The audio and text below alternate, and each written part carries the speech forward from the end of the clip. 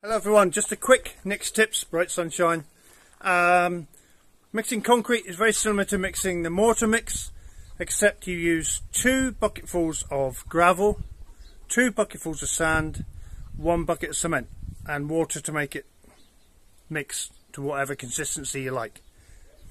Uh, I don't usually put um, plasticizer in because it's concrete, it's, uh, you don't want it to workable for long. You don't have to work it. You just put it in the ground in your foundations, wherever you're using it.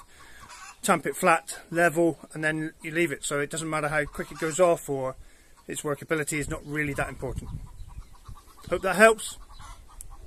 Again, two bucketfuls of gravel like this. Two bucketfuls of sand. can be coarse like this or fine sand. And one bucketful of cement. Simple. So I just feel while um, putting this, you see me putting this concrete in here and these foundations on top of solid granite, by the way. Uh, I think I need to tell you a reason why I use 4 to 1 and not what everyone else on the internet recommends is 5 to 1. Because I think 3 gravel, 2 sand and 1 cement leaves the mix what they call uh, too bony. Yeah. Um, by bony, I mean that the, it just looks like there's too much stone in it and not enough sand to bind it all together.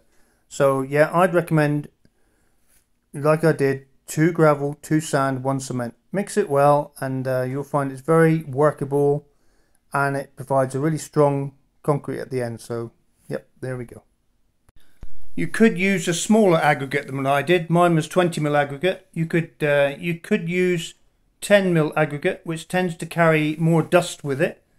Uh, and that dust is like a sort of sand, so that will help bind your mix together as well. So um, if it doesn't work, then add another bucket of uh, the 10 mil stuff to make it 5 to 1. See, see how it goes.